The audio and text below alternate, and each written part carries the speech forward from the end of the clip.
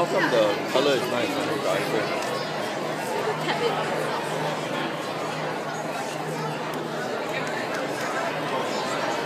Use your iPhone is good for this kind of dark colours.